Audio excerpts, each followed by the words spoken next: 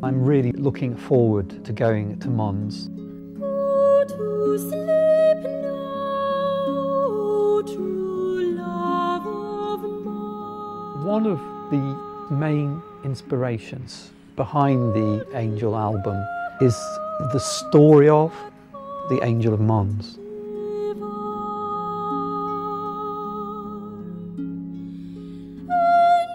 This is when, in the very first encounter of the British and German troops in the First World War, over a hundred British soldiers claimed to have seen the vision of an angel.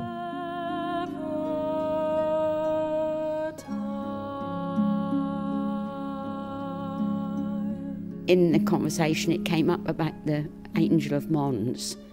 I saw it, I saw it, he said. My father saw a cloud, and he said just something different about that cloud. There seemed to be wings moving it along. And the other men saw it as well.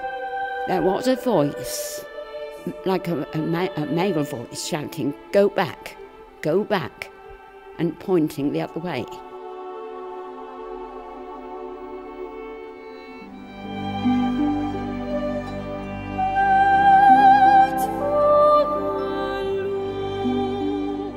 There's no one person in my life who has inspired my music as much as my brother. I find his words, I know what he's trying to say, and he knows what I'm trying to say, and it's this unique kind of symbiosis of words and music. So for me to be going with him to the place that has inspired us to write the music about the Angel of Mons is, is really, really exciting.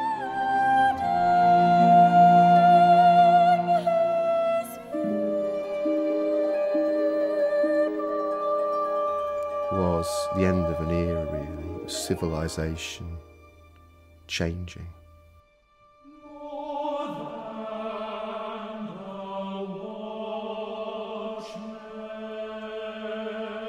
It was a heroic battle that went terribly wrong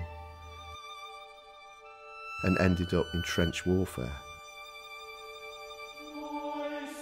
And something to do with the angels, I think, is marking that nightmare starting. And the Battle of Mons marked that because everybody thought it would be a swift conflict at the end of the Battle of the Mons, retreating and digging a great big hole in the ground.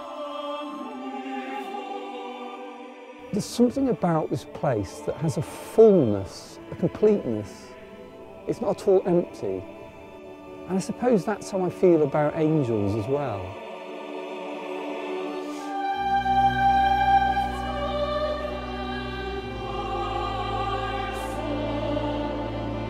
Angels are always at work, they're always busy.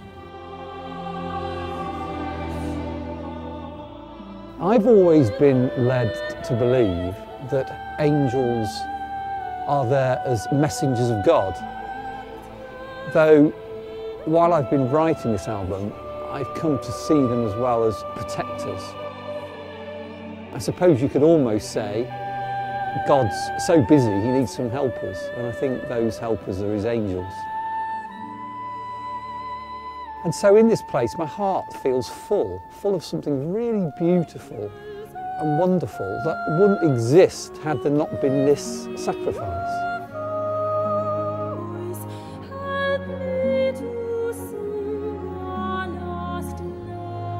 Angels are about comfort. The last lullaby is all about comfort, isn't it? It's asking the angels to, to help you sing your last lullaby.